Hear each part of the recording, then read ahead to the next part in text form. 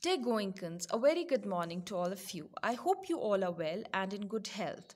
Today's review topic is the poem The Raindrops, which is on page number 11 of your English reader book. Dear Goenkans, you are directed to recite the poem one more time with proper pauses and intonation.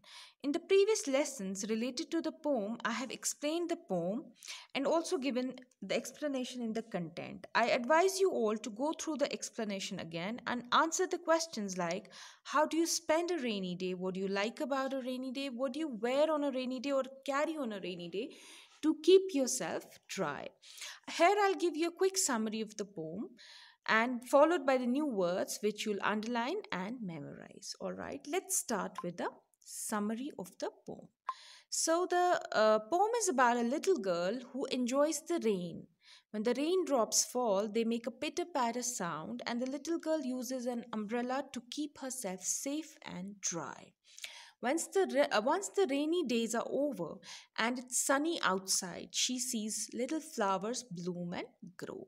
So what happens in the poem, if you can see on the see the picture on page number 11 of your book, you can see a girl carrying an umbrella. She's out there to enjoy a rainy day.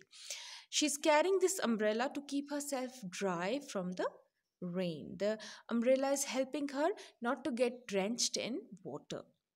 So it's keeping her dry. What happens when the raindrops fall? When the raindrops fall, they make a sound which is called the pitter patter sound, right? Once the rainy days are over, when the rain uh, stops and the sun comes out, it it's sunny outside, it's bright outside. What happens to the flowers? They bloom and grow and also sparkle and shine because of the sunlight. That was about the summary. Now let's come to the new words. What you have to do, we have done these words in the previous lessons. You will go through the poem and underline these words one more, once more and you will memorize them properly.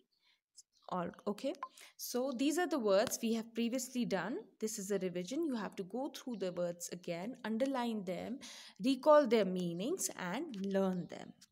Parents are requested to please help their wards to go through the poem again and ask them questions related to the poem to assess their level of understanding.